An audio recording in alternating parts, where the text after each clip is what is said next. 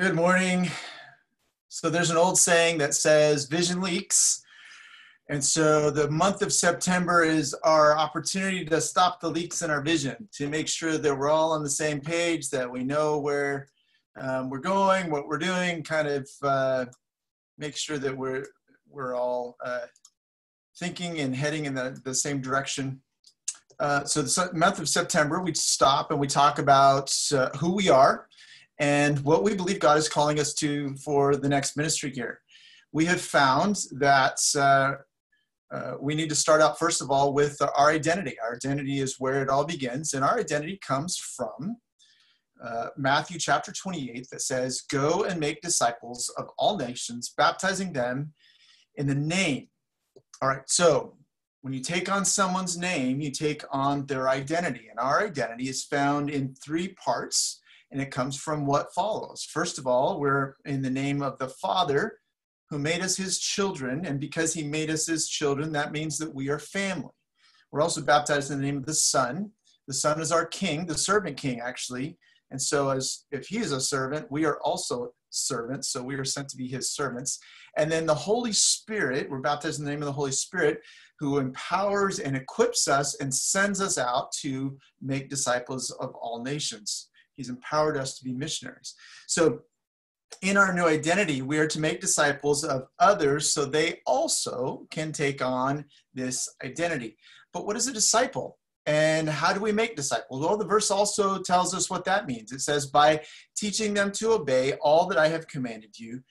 And that is, he's commanded us to go and make disciples. And so all of it, and that comes out through the teachings of Jesus. So a disciple then is someone who's trying to live in obedience to the teachings of Jesus.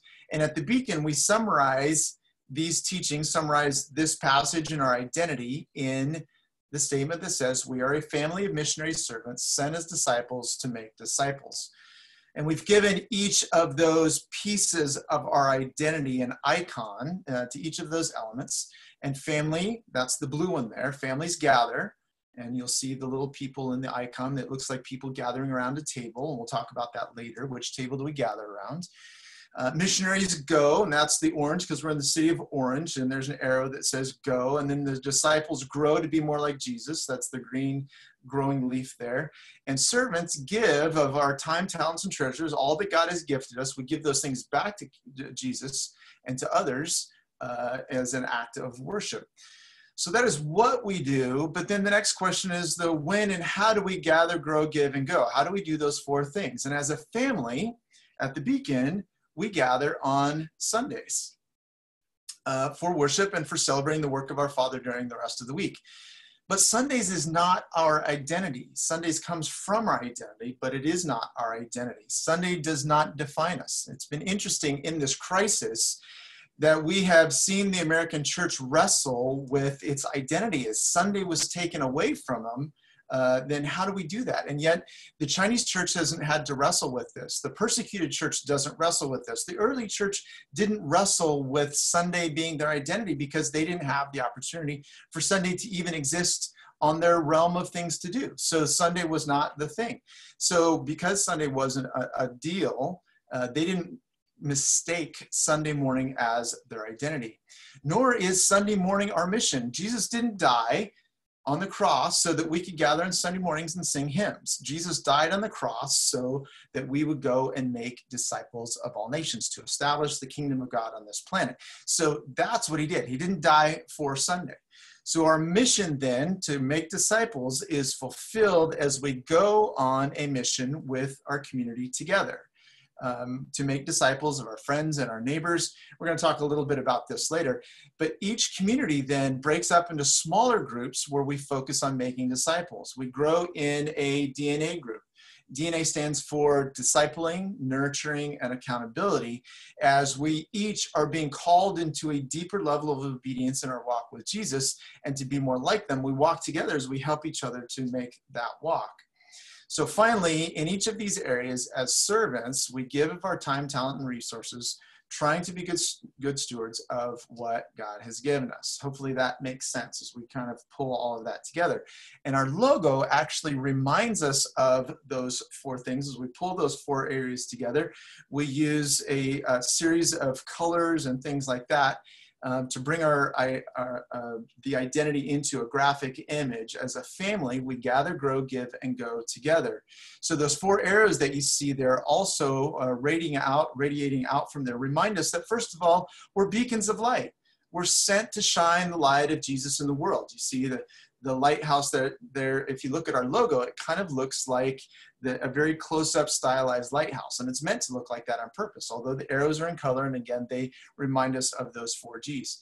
But the radiating arrows coming out from that lighthouse also remind us that we are sent as missionaries and we're sent by the Holy Spirits to be servants in the name of Jesus. And this imagery that's here that you see is inspired by the ancient symbol of the Jerusalem or the missionary cross, where the disciples were sent to the four corners of the earth. Finally, though, I want to draw you back to if you look back at our logo in this very center, there's a black circle in the very center. And that's probably, I think, the most profound element that's in there. The black circle reminds us that every family, every family gathers around a table for meals and fellowship. So, what uh, table does our family, the, the Beacon family, the family of God, gather around? Our family gathers around actually four different tables. The first of those tables, we're invited to the heavenly banquet table, and um, where we are invited to that place in heaven where Jesus, this is Jesus's favorite picture of heaven, is this heavenly feast, a, one, a wedding feast that's a place of perfect peace and shalom and relationship with our Father and with others. And we're invited to that table, and our Father is the host, we are the guests, and he, he invites everyone to come to that table. But access to that table is available only through Jesus. And so Jesus's table, the Lord's table, is where Jesus is the host and we are the guests. We're invited, and that's the communion table.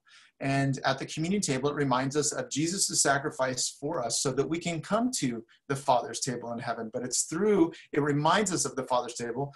Uh, it is a temporary place setter for that table, uh, for that eternal place, that eternal feast that's coming. But the Lord's Supper is not the main event. It's a place setter for the main event, which is the heavenly banquet table. It also defines us as the people of God. It defines us as the body of Christ. It defines us as those that are called out, ecclesia, that are called out together from the world. Why are we called? We're called out, and this is the last thing it reminds us out. We have work to do. We still have things to finish as we go out as the hands and feet of Jesus. So that work happens around, and this is the third table, our tables. This is Jesus set a, an example for us of how to do the mission in his, his table. That we are we get to be the hosts as we follow Jesus' model of hospitality and use our gifts and our blessings to invite others to experience a taste of that heavenly banquet table that is to come, that will be eternity. But there are people who cannot or will not come to our tables. So, like Simon the leper or Matthew the tax collector, they get to be the hosts. We get to be the guests, but we also bring the taste of heaven with us. We get to bring a taste of the kingdom as we come. So you'll see that these three tables all point to that heavenly banquet table in the future. Our mission as we go radiates from our identity uh, it radiates from these four tables. And our logo is meant to remind us of our identity and as our mission.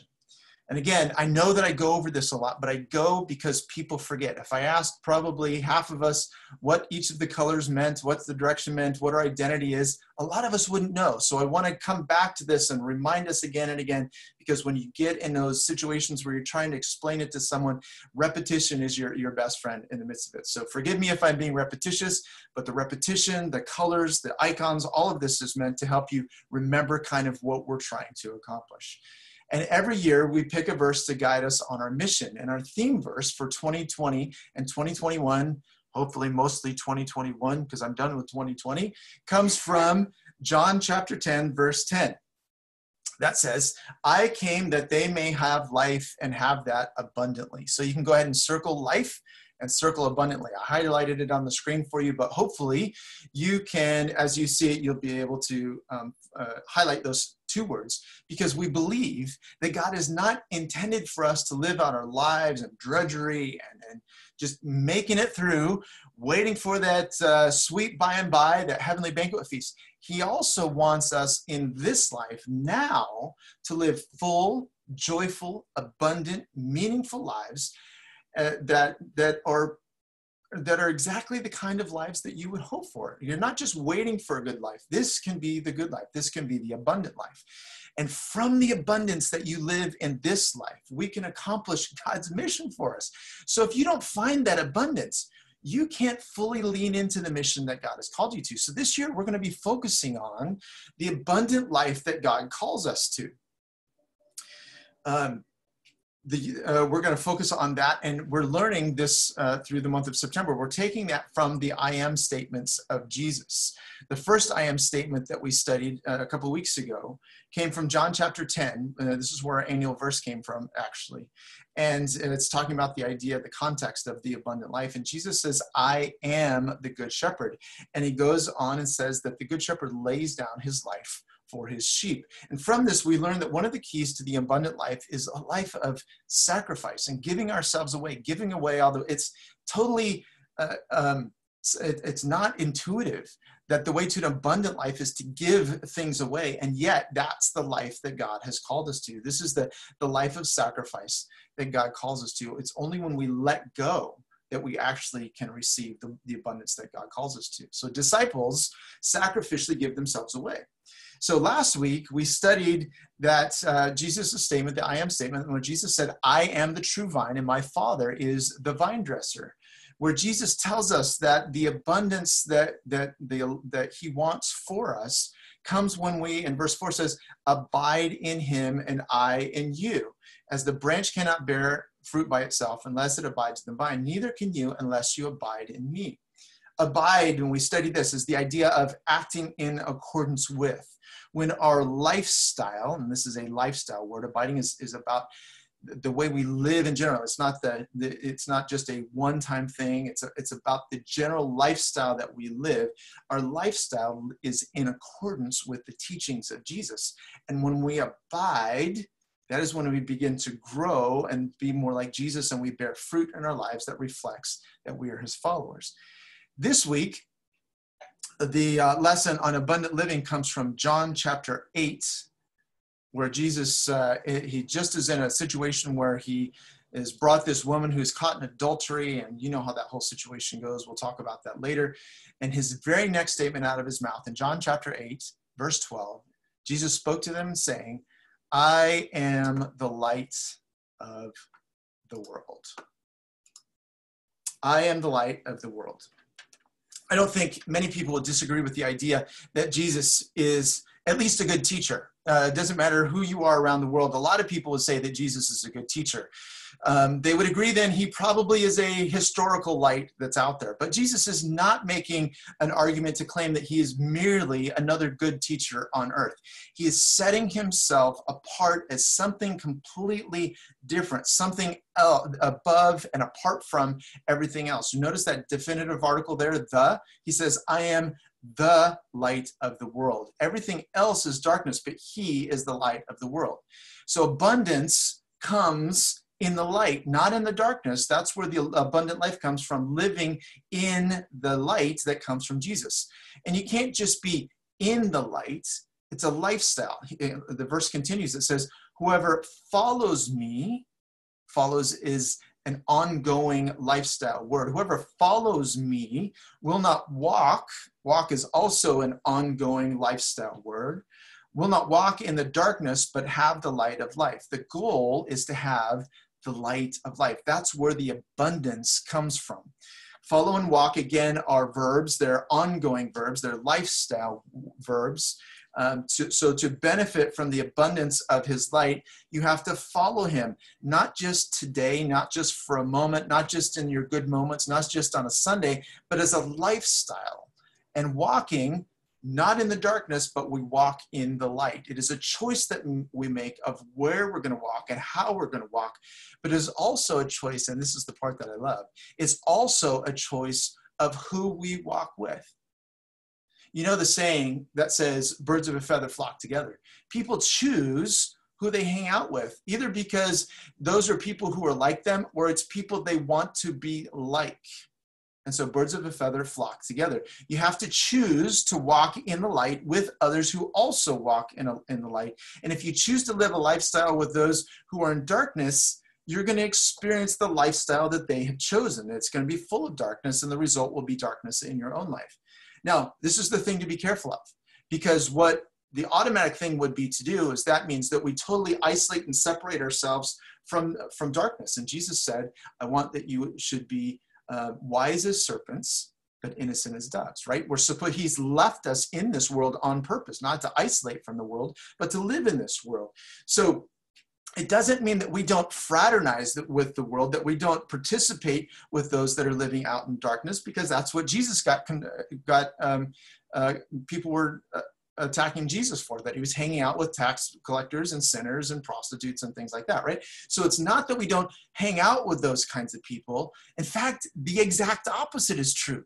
Because if your lifestyle is surrounded by others who are also living a lifestyle in the light, it gives you the power and the strength and the energy to go out into the world, get this, together so we go together because together we are stronger as we go out together. And that's where we get to make the most impact when we go together. You can go alone, it's just not going to be as effective. You're more effective when you go together. Here's where it gets interesting Jesus not only said that he was the light of the world, he said something very stunning, actually, in the Sermon on the Mount in uh, Matthew chapter 5, beginning at verse 14. I'll give you a second there. Matthew chapter 5, verse 14. He says, you are the light of the world. Ha! Didn't see that coming, did you? He, it, it, it's, it's easy to see Jesus as being the light of the world because, of course, he is. Everything he did, he was God on earth. All of those things, he was he is amazing. He's the light on the earth, and yet he says that you, and I'm pointing to you on the screen right now, are the light of the world. Turn to the person next to you or across the room or wherever and say, "You are the light of the world." I'm waiting. If we follow Jesus, by definition, we too become lights of the world. Folks, that's a mind blowing statement. We get to be not just lights, but we get to be the light of the world. But there's something more, something more, and this is the exciting part. It says, We will be a city on a hill that can't be hidden. A city is not just a single solitary light. Honestly, if you see a light a city with just one light on in the midst of it, that's pretty depressing. That means they've got a problem. It, that means that they've got, you know, state of California power outages, roll, rolling blackouts, whatever. There's problems going on if you've got a city that's only got one light shining in the midst of the darkness. He's saying that we're a city on a hill that cannot be hidden. That means all of our lights are shining. That means we are called to be a community of light. A city is not just one light, but it is a collection, a community of lights together as we gather together. One light is very effective in the darkness. That's the amazing thing about light. You just take one candle, one match, and you light it in a pitch dark room, and you'll get to see things all around the room. You can see it. We used to meet in the cafeteria at El Modena. If you took one candle and lit it in that pitch dark room, you could see all the corners. You could see that one little tiny light can do that one little match, one little candle in the dark will chase, by definition, it chases the darkness away. But the more candles you have in the room, the brighter, the more brilliant, the more powerful. And there's this exponential gathering of light that chases away the darkness. The power of darkness disappears. It has no way. Darkness actually isn't anything, it has no power. It is the lack of everything. It is just a nothingness, whereas light is actually a presence and that is the way we're supposed to go with our communities on mission together. We're going as a collection of lights out into community. And so we really try at the Beacon not to have all Beacon strategic missional initiatives together. What we try to do is have each of our communities have initiatives that they do together so that you as a community can go on mission together. Now the beacon's small, so we can do we do have some initial uh, uh, strategic initiatives that we do together in the community. Part of that is with the homeless, part of that is with the, the tree lighting, and we have a couple other activities that we do. And you've seen how such a small gathering of people can make a huge. We've gotten uh, awards from the state of California for the things that we've been able to participate. I got a, I guess what? I got a call two days ago from the deputy um, I forget the title. Uh, the guy that the uh, does the per- prosecutor, this the prosecutor for Orange County wants to meet with us about what we've been doing with the homeless in in the city of Orange. They want to meet with with us. Um, that's because we've taken our few little lights and bound them together and we've had an exponential impact together. That's what going on mission together as the lights of the world can do. It can make an impact where the world pays attention. That's what we're called to do. And that's what we try to focus you together in your community so your mission, your community can be in your neighborhood. Because look where we are. We're scattered all over this planet. Bahrain, Nevada, Germany, we've got people all over the place. And so for us to focus on the city of Orange would be counterintuitive. It would be counterproductive. We're putting all of our energy in a place where not a lot of us can actually spend our energy. And yet God has individually placed us in different communities in Irvine and Costa Mesa and Santa Ana and Garden Grove. By the way, we were supposed to have a couple online today that's starting our new Santa Ana community. We're in downtown Santa Ana. They're working with, with down there. Um, Evan and Stephanie, you're going to meet them. I'd hoped you'd meet them today, but you're, you're going to meet them today. It's a different community. So if we just said, no, no, no, no, we're just about orange, we'd be eliminating a lot of great things that God wants to do and, and to partner with us uh, on. So God has called us to our neighborhoods, to our regions, to our cities, so that we can make an impact together. And we do that through our missional communities. Missional communities are usually focused on either a people or a place. If it's a people, you could say that your missional community is focused on homeless people. It could be focused on single moms. It could be, be focused on a soccer team. It could be focused on an equestrian community, which, by the way, we're working on that as well. Or it could be focused on a place. Your, and you know, just write down, fill in your street address. It's your, that place is your house, your neighborhood, the couple square blocks around where you live. The point is that you are a missionary. Turn again, turn to the point person next to you. You are a missionary. The person next to you is a missionary. You are a missionary. The mission is, your mission is, your mission field is where God put you. If He put you in the midst of a, a, a bunch of artists, then maybe your missional community, maybe your mission is among artists. If God has put you in the midst of low income families, then maybe your mission is low income families. If and I know that God has put you in a neighborhood somewhere because every one of us has a place to live. God has put you. Even Leroy, Leroy is living in a hotel in Huntington Beach. Leroy, your mission field is that hotel. Those are the people that God has put you with. That's where He is.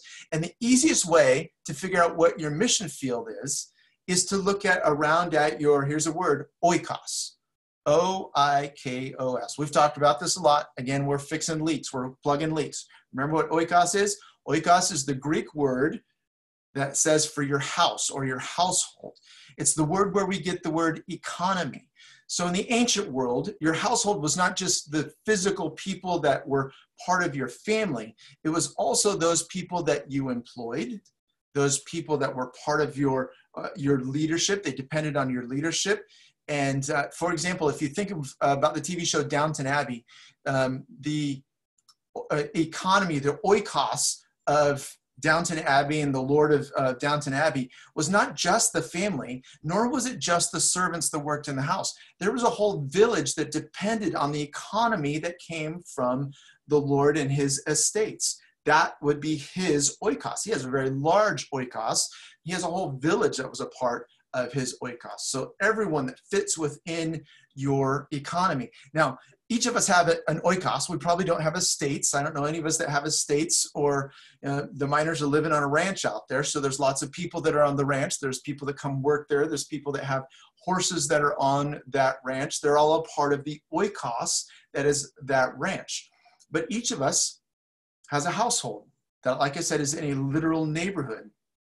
And that household that you have, that you, the oikos that you are over, includes those in your literal household, but it also includes those that are your neighbors, your coworkers, uh, the people that you work out with the gym, the uh, the clerk at the checkout stand at the grocery store that you go to, the postman that comes to your door every day. If you if you're intentional with those relationships, those people can become part of your oikos the point is you have to be intentional with who those are. You need to pray for those people. You need to pray about how who god wants you to spend because honestly you you and i if you, if you went through the oikos activity i'm going to put this in the bulletin this next week so you can download it so you can go through and think and pray through your oikos. If you go through that you're going to find easily 30 40 50 some of you 60 70 people in your oikos and there's no way that any of us, Jesus couldn't do it. Jesus had 12 or 13 that was in his immediate little oikos. Um, so there's no way any of us could do that. So you need to limit the people who you're going to spend time with and to be, here's the word, be intentional with. So when you're being intentional with those people, it doesn't mean you're being intentional about handing them a gospel tract. It means that you're being intentional with engaging them with life. You ask them out to dinner. You go over and drop a, little, little bouquet of flowers on their table because you know they're having a celebration or you know that one of them's having a birthday or you know that they suffered a loss in their family or you take them a, a bowl of soup or a, a pot full of soup because you know that uh, you know that they're sick or something like that. When and when you get the opportunity when you're intentional with you you begin asking questions and curiosity about how their life is. I'll tell you, John Abbas is the number one person that I know about asking questions. That boy knows how to ask questions I didn't even know existed. He can be in a conversation, and it's actually hard to have a conversation with him because he's always asking the questions. If you want to know about John, you have to be proactive and to ask, to beat him to the punchline and ask the questions.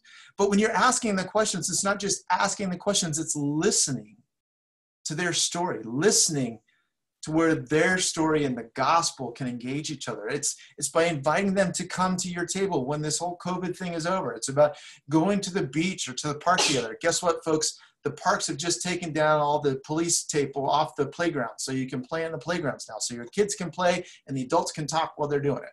Uh, the parks are open. But as we do life with people, this is where discipleship begins.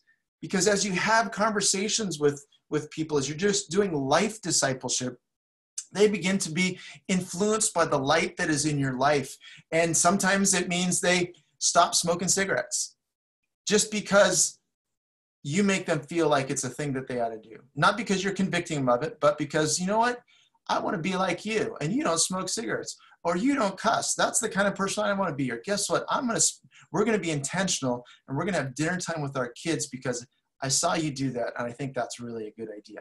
That's just life discipleship. That's not, that just comes out of conversations. It's not sitting down in a Bible study and how to stop smoking cigarettes. It's not a Bible study on how to stop cussing or how to have family times around the table. It's just living life together. And when they see the beauty and the light coming from your life, it inspires them and they want to become like that. Carolyn used to have a friend that, that she started going to church just because they started baking cookies together. And in the conversation, this lady realized, hey, my family needs to go to church. And so they started going to church. That, this is what it means to be light that we don't hide the light that is within us that we just let it shine just let it be natural it's not about memorizing a spiritual you know evangelism program or anything it's just letting the light of jesus shine through the beauty of the life that the abundance how's that about through the abundance of the life that god has given you the verse continues in verse 15 in Matthew 5. Nor do people hide the light, nor people light a lamp and put it under a basket, but they put it on a stand, and it gives light to all in the house. Uh, uh, uh in, in the house, lights. A light's purpose is to shine, not to be hidden. It's to shine. So just let it shine. Just let your the gospel shine in your life. In the same way, let your light shine before others so that they may see your good works and glorify your Father who is in heaven. When we do life with people, they, they get to see the real us. If we're doing it right, in seeing the real us, they're going to experience a taste of that heavenly banquet table. They're going to experience joy. They're going to experience hope. They're going to experience peace just by being in your presence and doing life with them. They're going to experience a little bit of what it's going to be like at the Father's table, and that's going to be attractive to them. And eventually, they're going to want to know where that peace and that joy and that hope comes from. And that's where life discipleship transitions to strategic discipleship, and you invite someone in and say, hey, can we just sit down and be strategic and have some conversations about this? And let me show you what the Bible says about some of these things. And that's where your DNA group comes in place. That's where you're, you sit down together and you study scripture. DNA groups are smaller groups of men and women from within your community who gather to go deeper in their, their desire to be obedient to Jesus. We learn the teachings of Jesus through studying God's word, and then we hold each other accountable to that. We hold each other like so the question I, I have two dna groups and at the very last thing we ask each other and those of you that are in those groups you know the very last question when we said okay so what is what is the obedience that god's asking you to live in this week? Sometimes it's it's just the living into the truths of god's word. Sometimes it's just trusting what god says. Sometimes it is something like ah, i'm not going to cuss anymore. I'm not going to i'm not going to uh, smoke cigarettes. Sometimes it is those kinds of things but sometimes it's it's it's a little more fine-tuned so now we get to that place in our conversation, our Sunday morning conversation, where I get to ask you, now what?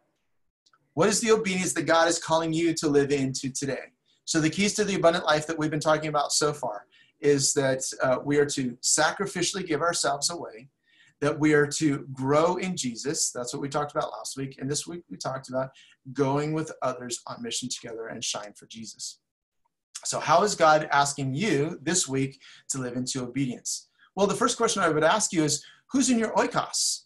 Use the oikos map that, that I'm going to put on the email so that you can think through the people in your community and, and just ask the Lord and be praying for them. Put it up. I have a little one that, that I sit that's next to my computer all week long. And it's just who is within my oikos that God wants me to be intentional about this week. The second thing is, um, are you in a community? And if you're not, this is the week that we have strategic set aside for several things. One of them is if you're not in a community, join one. And if you are in a community, we're going to ask you. So, so first of all, if you're not in a community, you may not, you know, be things may not work with your community. You need to find a new one.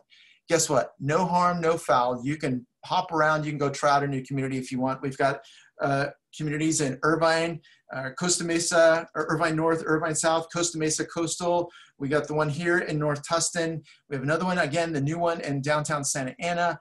We have the Cowboy one that I've been meeting with lately about how we're going to start that one. It hasn't actually started, but we're, we're getting closer. We have East Orange. Uh, there may be a couple others that we need to start as well. Some of those communities are in mission to their neighbors. Some of them are in communities and to a specific target. Our community is, uh, is trying to focus now on trying to reach the Cub Scout families. We just had this last week, six different Cub Scout families in our front yard, and they're hanging out where their kids are with Jeff and with the team. And we're having conversations with them, we're just trying to build relationships with them. But Go Communities, if you're in a Go community, this is week what this is what I'd like you to do, either virtually or in person this week. Will you gather? And I'd like you to pray. This is our prayer week. Monday through next Saturday, this is our prayer week, and we're praying about the mission that God has your community called uh, on this next week. We're also praying for the ministry of the Beacon as we reach out into all the various places that we're be, reaching out uh, in this next year. And obviously, things are going to be weird this next week. We're trying to, like uh, uh, Raina tried to said, we don't have all the answers about how next week is going to happen. So you're going to need to read your bulletin about how next week comes together. But pray about your your mission what your community is on mission together. What is the mission that you're going to do with your community? How are you going to go and be light and shine? Not just light but shine as the light of the world. How are you going to accomplish that? What are the strategic things you're going to do to be the light where god has called you? How will you shine your light into the world? And where are you going to uh, go as you shine? So next next week we'll gather for our ohana family celebration. And then guess what we are going to do this in two different ways. We're going to have the morning Zoom call for those of you that are not comfortable gathering. It'll be the same call that you, you see. And for those of you that are comfortable and really would like to gather, we're going to gather over. Right now it's at Taft Avenue. That may not be the final answer, but we're going to there will be a 10 o'clock in the morning opportunity, and there will also be the evening opportunity for you to gather. And we're going to talk about the future together and uh, celebrate what it means to be a family. We'll have a video of this last year of ministry. Yes, it's continued. And so I'll have a video highlights of, of how that's happened and stuff like that.